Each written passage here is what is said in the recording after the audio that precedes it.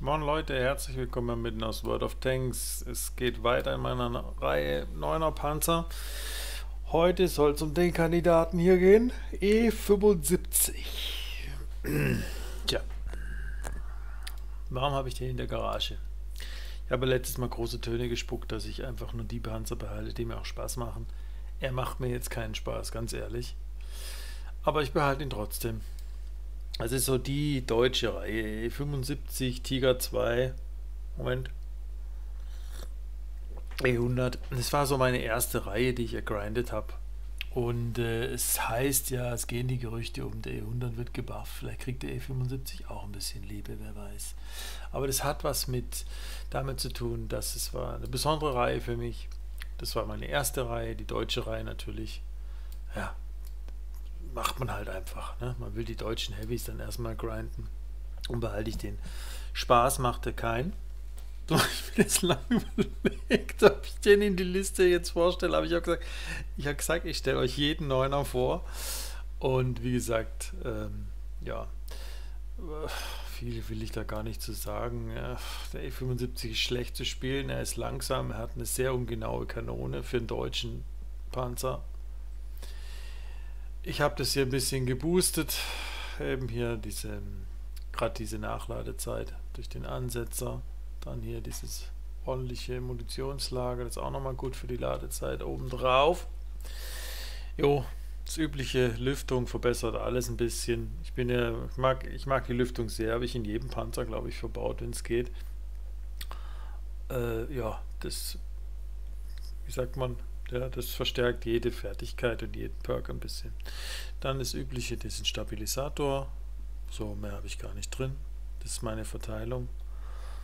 Die Crew, er hat eine eigene Crew gekriegt, obwohl er mir eigentlich gar, gar keinen Spaß macht, aber er macht mir der E100 macht mir noch weniger Spaß.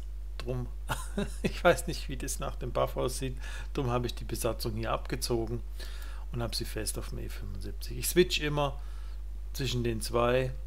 Aber der E75, ich spiele lieber die Stufe 9, wie gesagt, darum hat der E75 die Besatzung bekommen. Das übliche halt, Waffenbrüder, Repair ist ganz wichtig bei einem Heavy. Äh, ja, sechster Sinn ist klar. Und dann sichere Lagerung noch. Jo. Genug gequatscht. Ich zeige ihn euch jetzt einfach mal. Also es wird wahrscheinlich richtig hart werden jetzt, aber gut, da müssen wir durch. Dadurch, dass der Durchschlag sehr schlecht ist bei ihm, drücke ich sehr, sehr, sehr oft auf die 2. Der ist auch nicht so gut, weil gegen, gegen 10er machst du mit 300er Durchschlag nicht viel. Ne? Äh, jo. Jetzt schauen wir mal, was haben wir denn hier? Ich sag, ich... Zwei Jodeljochens. Ah, fahren wir mal in die Mitte. Ich fahre sehr ungern in die Mitte, aber gut. Äh. Ihr seht meine Begeisterung, ne? Ja, absolute Begeisterung, ja. Aber ich muss die Namen noch deaktivieren. Ich habe die mal aktiviert, wenn ich Zug fahre. Jetzt schauen wir mal. Ihr seht auch, er ist elendig langsam, aber das ist normal für ein Heavy. Sidescrapen kann man gut mit ihm. Aber er hat, glaube ich, mit die, eine der schlechtesten DPM auf Stufe 9 hier. Also, so. so genug schlecht gemacht. Mal gucken. Vielleicht kann man auch noch ein bisschen zeigen. Also dann doch. Was kann er eigentlich? Sidescrapen, genau. Äh, jo. Was er so kann.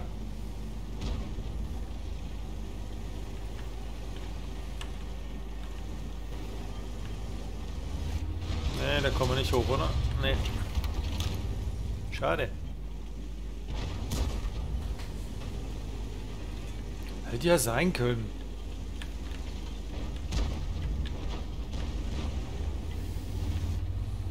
Snapshots klappen in dem eigentlich selten, bis nie.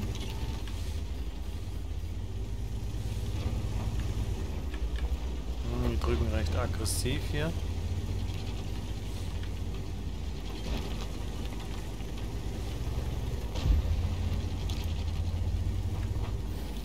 War damals einfach schön. Ich habe gedacht, nach dem Tiger 2, jetzt habe ich Spaß. Naja. Ich wurde da schnell eines Besseren belehrt.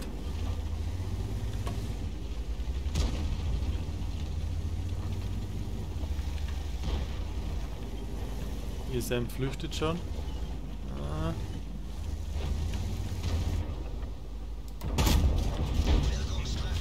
Bisschen Sidescrapen.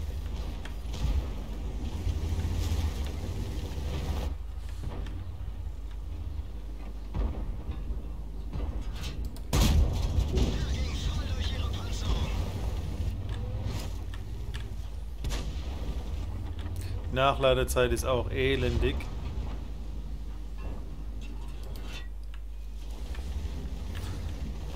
Naja.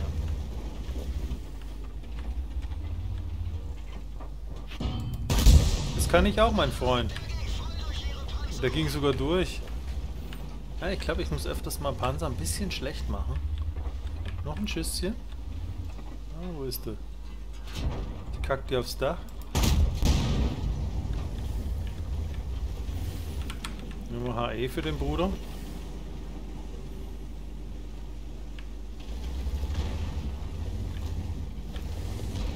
Ach, diese Häuserwände.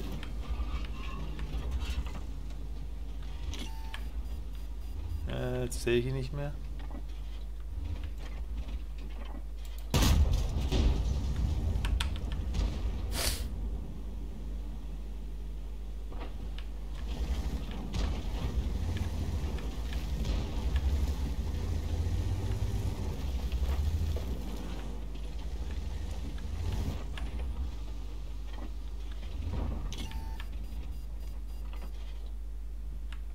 So doch. Jetzt habe ich das HE rausgenommen, Mann.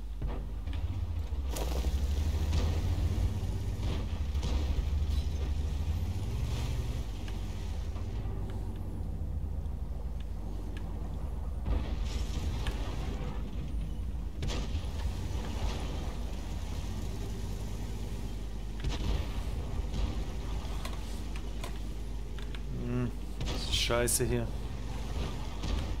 Na, ich fahr mal rüber.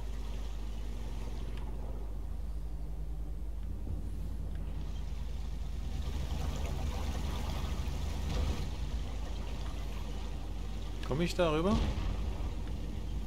Let's try it.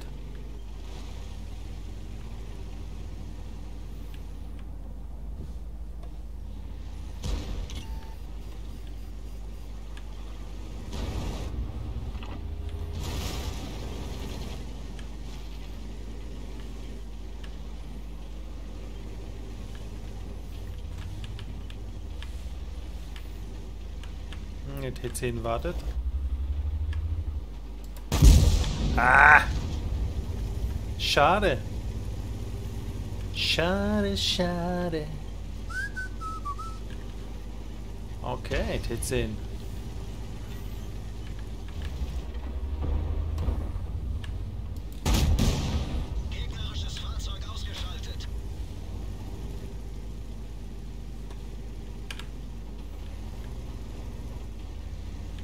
Mit dem Kong ist halt immer schwierig. Der ist der wesentlich bessere Panzer. Jetzt schauen wir mal. Ob wir ihn ein bisschen reizen können.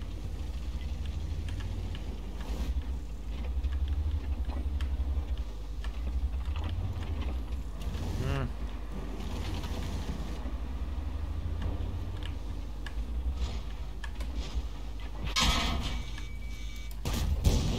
Na, schade. Ich wollte ihm aufs Deck hinten kacken.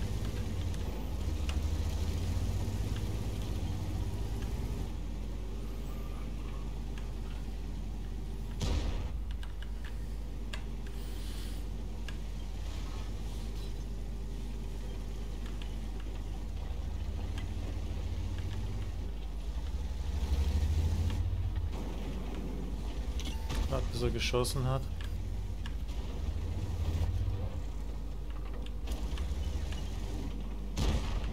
Jetzt hat er.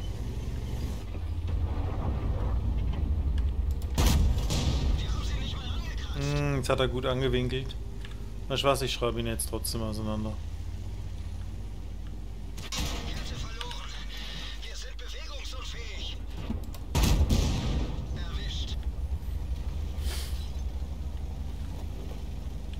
Ja, so in der Stadt. Kann er so ein bisschen rumfahren. Das findet der E75 ganz nett scheinbar.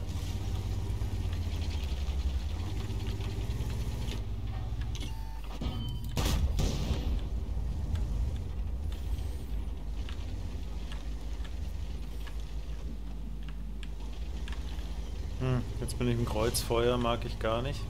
Ich glaube, wir nehmen erstmal den Löwen raus. Oh, der hat nur noch 15 HP.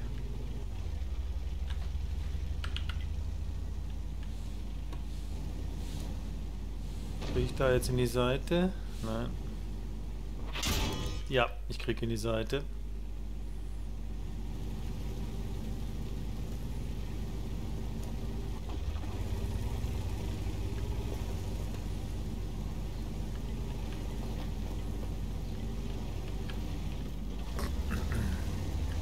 Wait, wait, der EBR kommt.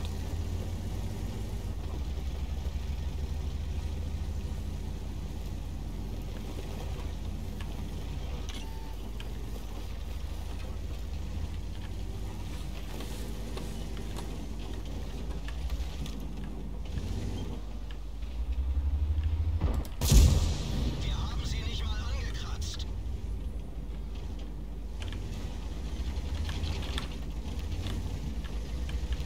Kette wurde getroffen. Sie kann jeden Moment reißen. Gegnerfahrzeug ausgeschaltet. Scheiße, ich häng fest.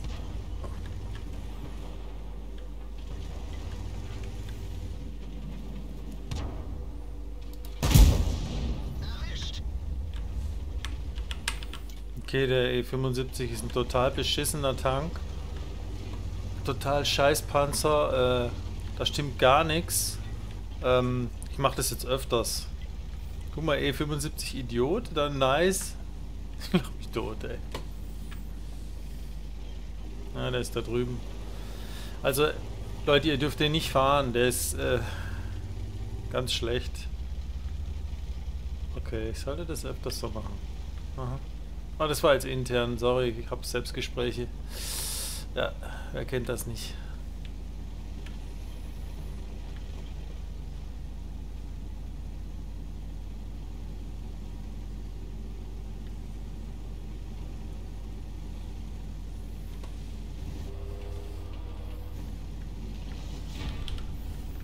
Nee, ohne Scheiß. äh, Das war jetzt Zufall. Normalerweise hat man im E75 nicht solche Runden und so gut war sie jetzt auch nicht. Also. ja. So. Noch Schluck Kaffee. Auf der anderen Seite, um jetzt mal was Positives zu sagen über den Tank, dadurch, dass er ja so eine ungenaue Kanone hat, ja, die Zielerfassung ist gar nicht übel, aber sie ist ungenau. Ist er zum Snipern jetzt nicht gemacht worden, obwohl der auf dem Löwe saß, jetzt auch ganz, ganz schizophren manchmal in World of Tanks, aber egal. Ähm, tun wir gerade mal an, wenn im Stadtkampf, wenn er so ein bisschen sidescrapen kann, der A75, da ist er ganz ordentlich. Aber ähm, sonst, der Kong hat sich relativ bescheiden angestellt. Ich gucke mir den mal an. Uiuiuiui. Seht mal, ich bin nur Rekrophil. Hm. Okay, neue Runde. Im Stadtkampf ist er, hat er schon, schon ein, richtig, da ist er gut aufgehoben. Wenn er Sidescrapen kann. Aber zum Snipern oder zum, für die genauen Schüsse ist er nicht gemacht. Und das, viele wissen das auch. Ich mag das an Panzern, wenn die Schüsse, die Snapshots, wenn die treffen. Ich aim eh ein bisschen äh, schlecht oft. Ich, ich ziel und drück ab und dann muss er sitzen. Drum liebe ich ja den Kong so. Mal, was haben wir denn hier? Ein Kranwagen, oh Mann. Uh, dann noch vom Skill-Clan, nicht vom Skill 42 Clan, das ist so ein Unterclan. Okay. Ihre Unterstützung wurde angefordert. Hm, nehmen wir erstmal HE. Jetzt könnte ich mehr HE brauchen, also ich glaube, ich werde die Bestückung ein bisschen ändern. Mehr Premium Muni, vielleicht so 15 Stück und vielleicht 5 HE, 5, 6. Oh, ja, ja. Jetzt versuchen wir mal das Beste rauszuholen aus der Runde, weil das ist wirklich ein Top-Spieler scheinbar. Aber eben immer gleich aufgeben und sagen, oh, wir haben eh keine Chance. Bin ich auch kein Freund von. Manchmal, wenn das Gefecht noch so schlecht aussieht am Anfang, gewinnt man trotzdem. Da bin ich auch kein Freund von diesen, ähm, wie heißen die Dinger, Mods, wo die WN8 angezeigt wird. Dann gibt es dann immer so Experten, oh, lose again, oh, lose team, oh, red tomato. Das finde ich so, ich weiß nicht, ich finde es bescheuert. Ich spiele, ich zum Beispiel spiele komplett ohne Mod. Ich finde Mods völlig unnötig. Totaler Quatsch, weil das das Spiel dann doch ein bisschen beeinflusst und auch das Spielverhalten von den besseren Spielern. Die geben dann gleich von, oft von vornherein, da kommt schon der scheiß Kranwagen. Oh Mann, aufgeben? Ja, wollte ich gerade sagen, aufgeben? Ja, äh, die geben von vornherein gleich auf. Das finde ich scheiße. Soll doch jeder sein Bestes geben, mein Gott. Und manchmal gewinnt man so Spiele. Drum haut keinen Mod auf euren PC, sondern spielt einfach Vanilla. Guckt euch später die Stats an, wenn es euch interessiert. Aber lasst euch nicht das Spiel vermiesen durch irgendwelche bunten Zahlen. So, jetzt gucken wir mal, ob wir irgendwie gucken können, dass der Kranwagen immer schön geschossen hat und vielleicht haben wir Klicker. Ja, oh, WZ, das ist nicht gut, wie du da stehst. Ähm, ja, MB2 haben wir auch. Oh. Positiv denken, positiv. Ich hoffe, dass der MI2 crossen will. Der ist halt echt eine Macht auf der Karte, ne? Der Kranwagen und der MI2. Die sind echt eine Macht. Der hast du ein richtiges Problem, wenn du gegen die hier fighten musst. Hat auch, der, der WC hat auch keinen richtigen Bock, seht ihr das?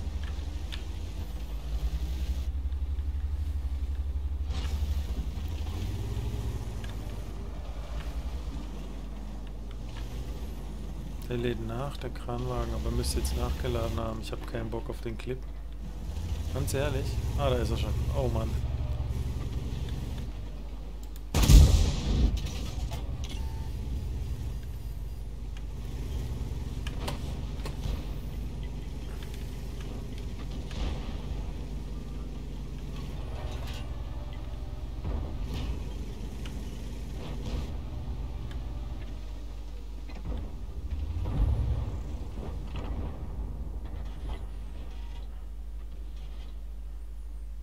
Na, komm schon, Kleiner.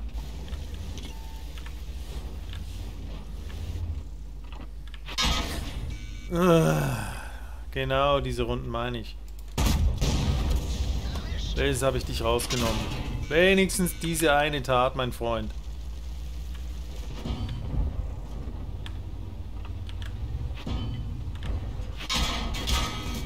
Ja, bankt mich von hinten. Das sind diese Runden, die ich meine im E75. Das war jetzt Real Life. Das war jetzt World of Tanks Live. ja, vom Kranwagen vorne äh, auseinandergenommen. Das war zwar jetzt das Centurion, glaube ich. Was war das? Ja, nee. Kong. Aber ja. Dann Jodeljochen in der Mitte und du bist in so einem E75 Heavy einfach nur aufgeschmissen. Hier, 10-1. Trotzdem positiv denken, positiv denken. Ich muss nur noch ein Spiel im F75 machen, dann habe ich es geschafft. Ist das nicht schlimm, dass man so denken muss über, über deutsche Heavies? Naja, jetzt muss ich mir ein bisschen was verkneifen. Warum die so schlecht sind in dem Spiel, aber gut, ihr wisst, was ich meine denke ich. Ist halt ein Schlachtfest für den Kranwagen, ne? Zack.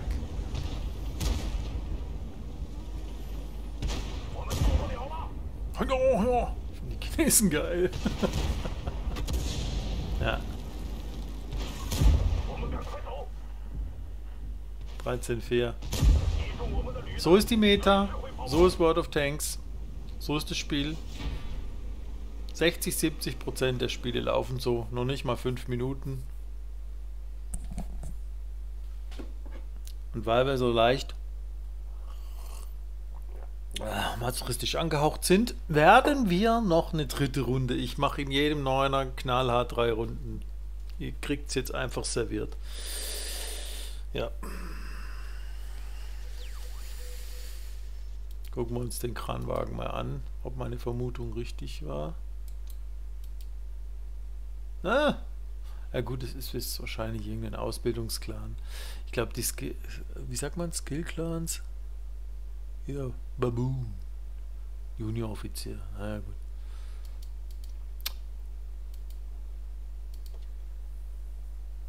Die haben ganz viele verschiedene Clans. Ja die ganz großen Clans in World of Tanks, die haben auch verschiedene Unterclans. Die Garde zum Beispiel, das ist auch ein großer Clan. Äh, bronzene, silberne, kupferne, goldene, äh, keine Ahnung, äh, gibt es zig Clans, wo du halt dann dein Plätzchen findest, je nach deiner W8 oder deinem Wissensstand. Gibt auch Ausbildungsclans dann eben. Jeder große Clan, ach, das ist wie in der Bundesliga. Ne? Nur hat das hier nichts mit Sport zu tun. So, zwei Klicker. Zehner. Jawohl, das ist, das ist Real Life. Das ist E75 Gameplay. Das heißt, für mich stelle ich mir als allererstes die Frage, wo gehe ich hin? Wo flüchte ich mich, damit ich nicht ganz schnell auseinandergenommen werde in meinem E75? Auch noch bei 2 AT. Ich würde sagen, Scheiß drauf, ich fahre ein bisschen runter. Hier in die Kuhle, hier ins Loch, da wo der deutsche Heavy hingehört. Der jetzigen, heutigen Meter. Knallhart. Und versuche mit der super präzisen Kanone zu snipern. Das war jetzt Ironie übrigens. Ja, das ist einfach nur traurig. Aber ich will mich nicht beklagen, wir versuchen das Beste jetzt draus zu machen.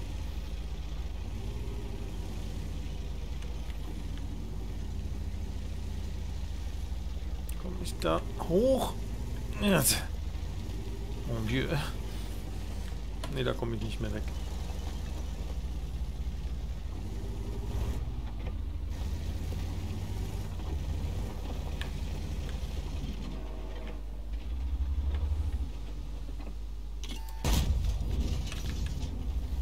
So, jetzt freut sich der Klicker. Hört ihr das Quietschen? Oh Mann, hey, was für ein geiler Tank.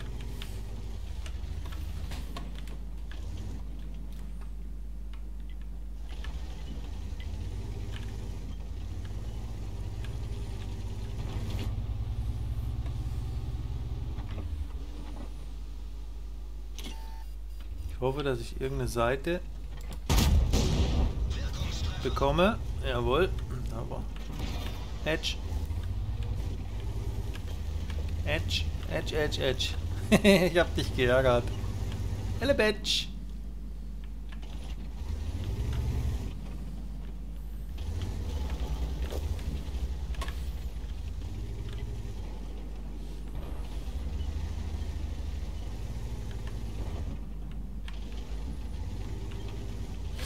Hm, der AMX ist jetzt pisst. Den Clip will ich mir eigentlich nicht fangen, aber egal. Will ein bisschen mitmachen.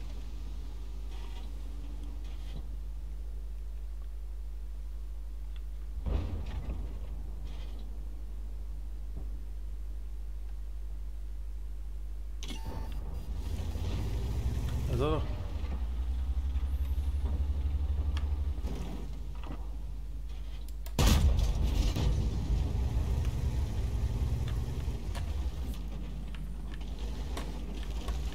ist echt traurig, so zu gammeln, oder? In dem deutschen Heavy.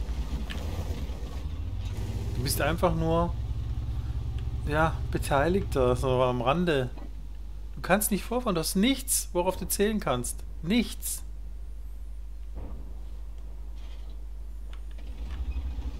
Warum zeig mir doch deinen Arsch, 705? Ja, ja, ja, ja. Was ist denn das hier?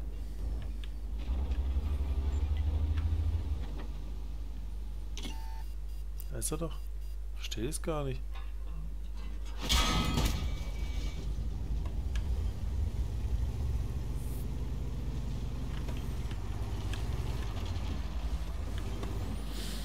Ja.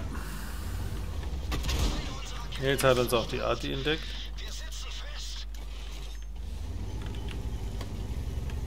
Gehen wir mal so ein bisschen hier ran.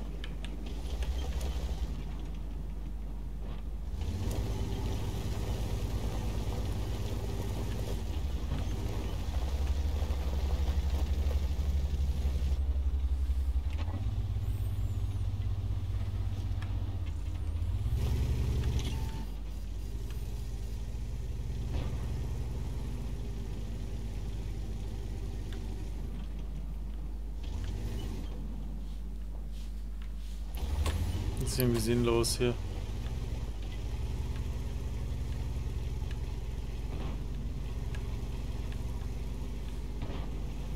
Gehe ich halt sterben. Das sagt man sich dann irgendwann im E75. Gehe ich halt sterben.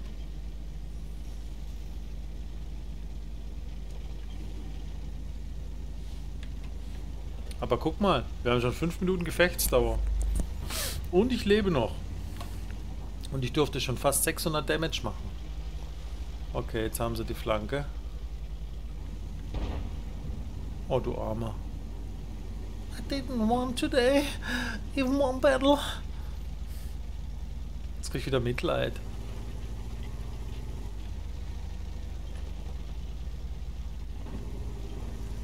I'm a took a train, I'm a took a train, I'm a took a train, yeah.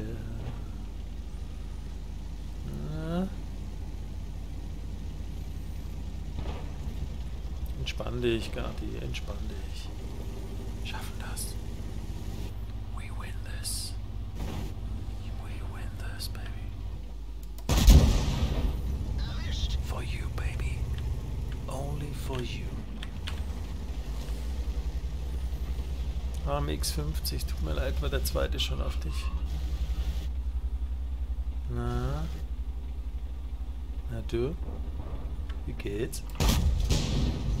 Hast du schon mal so eine präzise Gun gesehen? Wahnsinn, oder?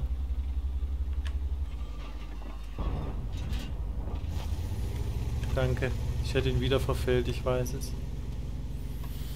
Okay, Ladies. Die Mates sind auch durch. Jetzt holen wir das Beste aus der Runde raus, was wir können. Das heißt, wir im besten Fall drücken wir noch ein Schüsschen raus. Ja, ja, ja. Ich bin da. Oh, mon Dieu. Ah, tolle Runde E75. Das reicht für das nächste. Ja. Ja, auch nochmal ein zweites, nee, drittes typisches E75-Game. Aber ist euch was aufgefallen? Ich habe in diesem Spiel und im letzten Spiel nicht so sehr über ihn geschumpfen mehr. Ja? Ja. Daran lag's. Denk mal drüber nach. Ich glaube ja wirklich, dass die heimlich mithören. Ne? Nur an Headsets. Aber gut, das ist jetzt eine Verschwörungstheorie. Sagt mal eure Meinung in den Kommentaren, ob ich da jetzt völlig falsch liege. Ja? Und ja, wer weiß. Was sagt mir das? Nächstes Mal schimpfe ich wieder mehr über den Panzer.